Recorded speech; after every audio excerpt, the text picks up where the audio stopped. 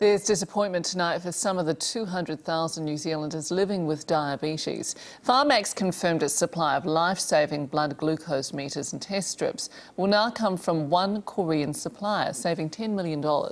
But Diabetes New Zealand says the change is risky. Renee Graham reports.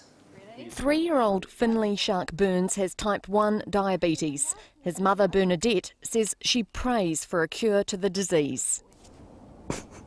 really tough. Well, it's not really tough. It is, I buddy. My, in, my.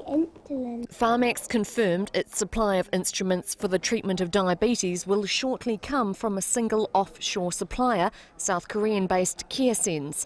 It'll pay for three different blood glucose meters and two testing strips from the same firm. The move will save $10 million a year. Diabetes New Zealand says it's risky and it's disappointed. We did express in our original submission some concerns about sole supply, um, and obviously the proposal is still uh, one based on sole supply. Pharmac is used to um, using sole supply agreements, and we find that the security of supply is actually greater because we know who the supplier is.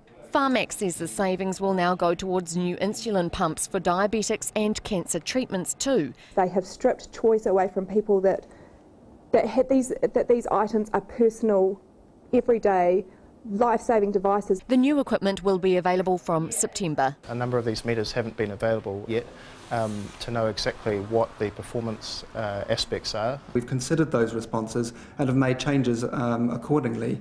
Certainly no apology for doing that. Um, we think what we've ended up with is a really good proposal. Pharmac says people with diabetes will get training to use the new devices. Renee Graham, One News.